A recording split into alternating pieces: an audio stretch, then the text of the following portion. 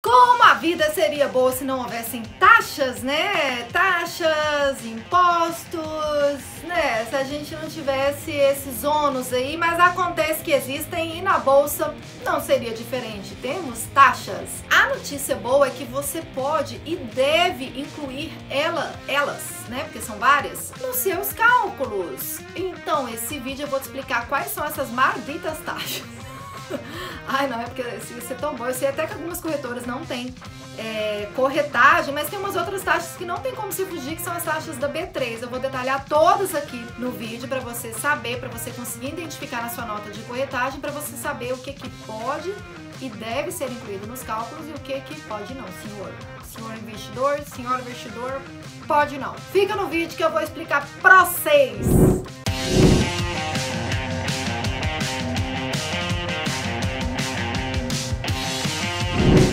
Bom motivo para você ficar até o final desse vídeo é que você incluindo as taxas nos cálculos, você vai ter melhores resultados na bolsa. Como assim, Alice? Como que a taxa pode melhorar o meu resultado? Vamos lá. Se você um mês teve lucro de mil reais, mas você nesse total do mês aí pagou 50 reais de taxa, na verdade seu lucro não foi mil, foi 950. E aí na hora que você for calcular o IR, né, caso não tenha sido um mês isento, você vai pagar o IR sobre 950 e não sobre mil. Da mesma forma, ah não, mas ah, para, senhor, não, é porque eu tô aprendendo ainda. E e esse mês eu só tive prejuízo. O raciocínio é o mesmo, só que inverso. Vamos supor que você teve aí 2 mil de prejuízo e você vai bater nos lucros futuros. Só que você teve 100 reais de taxas somadas aí ao longo do mês. Então, na verdade, seu prejuízo não foi 2 mil, foi 2.100. E aí, na hora que você tiver um lucro de 5 mil, né, que você vai abater o prejuízo, se você não sabe como que pode abater o prejuízo, como que funciona a sistemática, eu vou colocar um vídeo aqui, pode ser, Mel? Pode ser, pode ser, pode ser. E aí, lá naquele mês que você teve 5 mil de lucro, né, e você te, tinha 2 mil de prejuízo, mas na verdade foi 2 mil mais 100, ao invés de você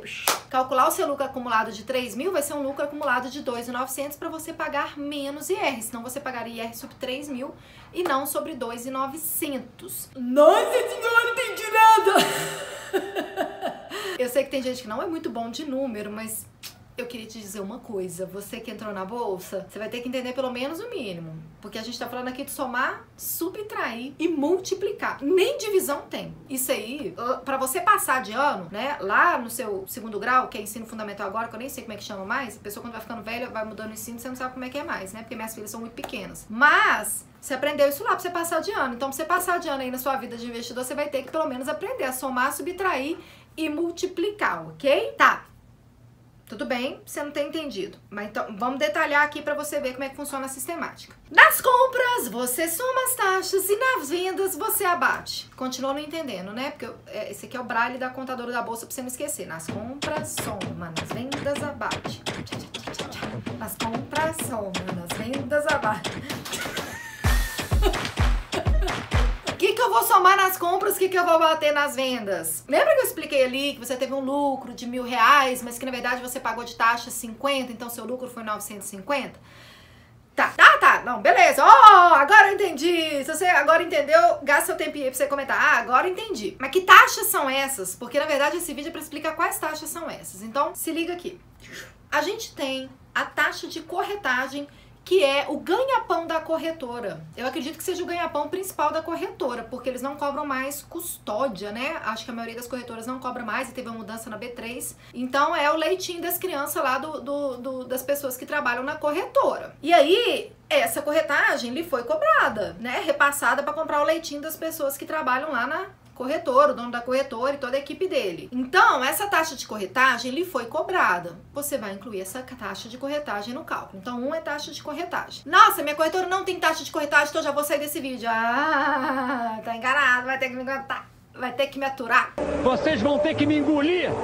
Vai ter que me engolir até o final desse vídeo. A outra taxa que você vai ter, que não tem como fugir, por isso que você vai ter que ficar até o final do vídeo, é emolumentos. A B3 cobra emolumentos em cima das suas movimentações. É o ganha-pão, é o leitinho lá da equipe da B3. E isso vai ser cobrado de qualquer investidor. Então, por mais que a sua corretora não tenha taxa de corretagem, vai ter a taxa de liquidação, assim como a taxa de emolumentos da B3 também. Você não vai ter como fugir dessas duas aqui, ó.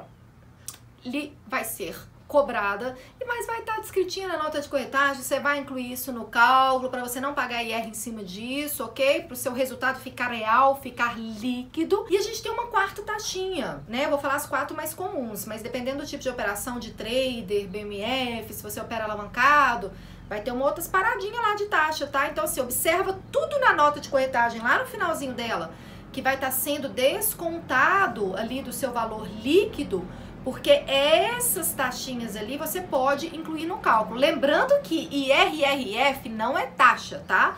Ele é uma antecipação de imposto, porque ele também vai estar no final da nota. Ele é uma antecipação de imposto, para na hora que você tiver uma DARF para pagar, aí você abate ele, tá? As taxas é para você chegar no seu resultado líquido do mês, para só então você calcular o IR, aí depois você vai bater o IRRF. Então tira o IRRF da parada, ok? Então olha só, corretagem, emolumento, liquidação, alguma outras taxas que vão estar tá lá dependendo do seu tipo de operação. Ah, mas não tô vendo outras taxas, então relaxa, não tá lá, não tem, você não, não foi cobrado para você. E tem uma que às vezes acontece, às vezes não, que é o ISS, Imposto sobre Serviços, que algumas corretoras repassam ele para os investidores e outras não. Não, mas não tô vendo ISS aqui. Beleza, não te foi cobrado ISS. Agora, se tá aparecendo lá, hum, aí você vai incluir esse ISS no seu cálculo. E aí, qual é a forma mais simples de você fazer isso? Ah, me foi cobrado 10 reais de corretora me foi cobrado um real de taxa de emolumento, um real de taxa de liquidação e um real de ISS. 14 reais de taxa. Então, esses 14 reais,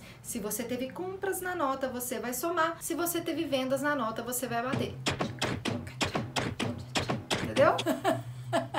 é assim que funciona. Você não precisa fazer assim depois que você somar, entendeu? Isso aí é só pra ah, pô, gente, tô falando de matemática, tributação e tudo, né? eu tenho que arrumar um jeito de me divertir aqui também. E aí, pessoal, vai ter um vídeo aqui próximo no canal que eu sei que já vai ter um monte de gente que vai perguntar assim: Nossa senhora, mas peraí, como que eu vou nas compras? Eu tive um monte de compra. Como é que eu vou somar se eu tive 10 compras, 10 títulos diferentes? Eu vou somar em qual título para calcular o custo de aquisição?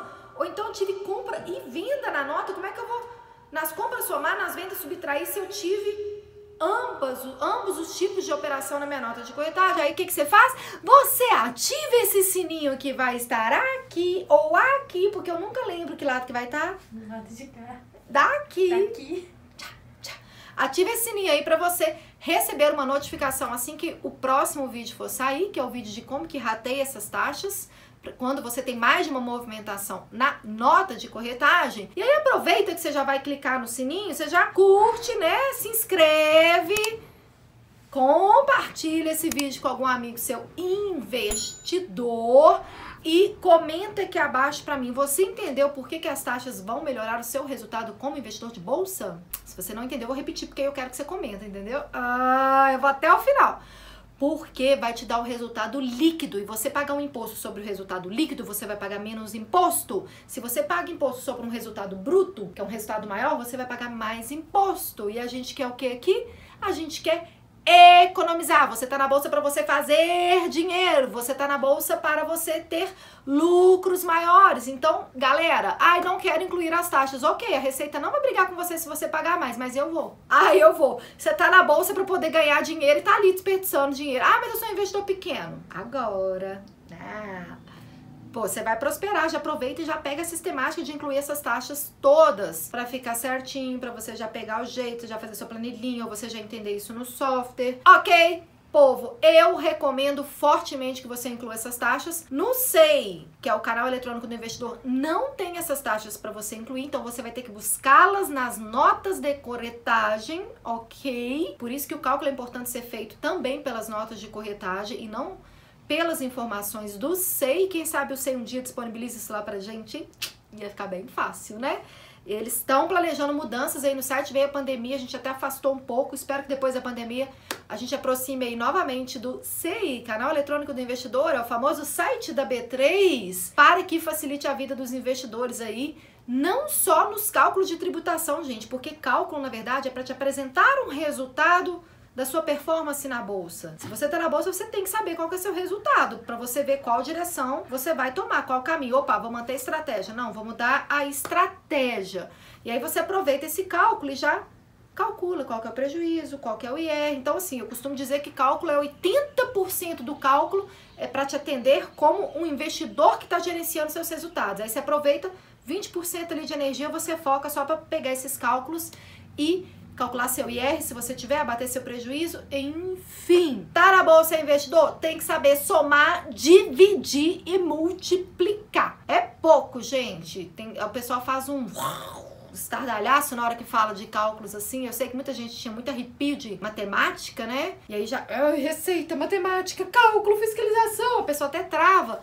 Mas não tem segredo, é só ir com calma em todos os meus conteúdos aqui no YouTube, lá no Instagram que tem um time que responde direct. Sim, tem um time que responde direct. Vai lá, aproveita e me segue no Instagram. Estamos com quase 200 mil seguidores. 192 mil. Mas não vai me seguir no Instagram se você não é investidor, não. Se você tá nesse vídeo aqui de sapo, eu não tô desfazendo de você, não. É porque meu conteúdo ele vai ajudar quem é investidor. Então eu quero público só de investidor de bolsa, porque senão não vou conseguir ajudar. A pessoa vai estar só perdendo o tempo dela ali, enquanto podia estar consumindo conteúdos ali do que, que ela está se propondo ali a melhorar a vida dela. Eu quero melhorar a vida de vocês, investidores, ok? O que, que eles vão comentar? Nas compras soma, nas vendas abate. Pode ser para poder fixar esse aprendizado aí para vocês. Curtiu, se inscreveu, ativou as notificações, compartilhou com os amigos e comentou? Nas compras soma, nas vendas abate. Tchau. C mais V menos. C mais V menos. Compra só mais vendas C mais V menos. C mais V menos. Beijo no próximo vídeo. Olha, hoje eu tava vindo no carro, pode pôr essa lá no final, sabe? E na minha cabeça, eu tava meio brigada com o Rodrigo. Eu tava com uma raiva. Marido e mulher briga de vez em quando. Não, eu tava com uma raiva, assim, no baixo astral.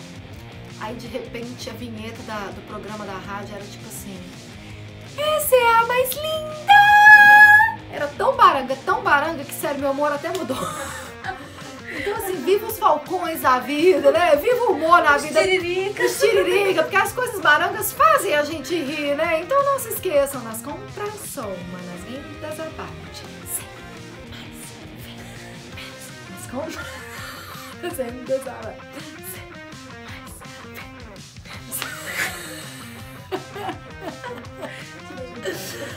Você não riu, pelo menos a Mel aqui atrás riu pra caramba.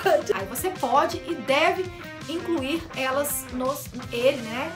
A taxa de INSS. É porque tem S no final, falei eles, elas, né? Plural. INSS. Você vai incluir o ISS. Corta essa parte, sabe? Vai virar um rios. Vai virar um rios. Nas compras são, nas vendas abaixo. Esse aqui, é ó. Tchá, tchá, tchá, tchá. Somar e dividir. Somar, não, somar, subtrair. Tchá, tchá, tchá. Como seria a vida boa? Uau!